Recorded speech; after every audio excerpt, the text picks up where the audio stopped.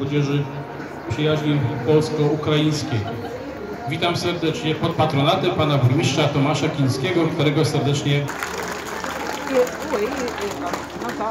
Moi drodzy, za chwileczkę y, pan burmistrz dokona oficjalnego otwarcia. Y, my, pan burmistrz wręczy także pamiątkowe takie gadżety, którymi są czapeczki z herbem miasta Nowa Ruda, i później przejdziemy już do spraw technicznych i rozpoczniemy dzisiejsze igrzyska.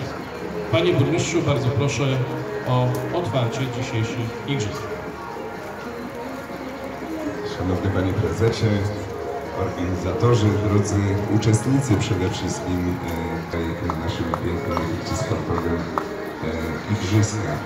E, życzę, życzę wszystkim uczestnikom dobrego startu, wygranej, ale przede wszystkim dzisiaj dobrej zabawy. Dziękuję Międzyszkolnemu Związkowi Sportowemu za przygotowanie dzisiejszej imprezy i wszystkim życzę jeszcze raz powodzenia. Otwarte Igrzyska Młodzieży Igrzyska Przyjaźni Polsko-Ukraińskiej uważam za otwarte. Dziękujemy bardzo Panie Burmistrzu.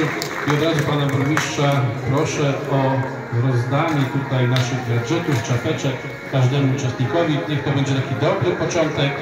Ja chciałbym tylko zaznaczyć, że tutaj otrzymaliśmy środki na organizację dzisiejszych igrzysk od Gminy Miejskiej Miasta Nowa Ruda.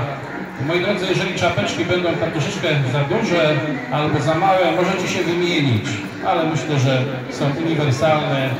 Każdy będzie mógł sobie dopasować.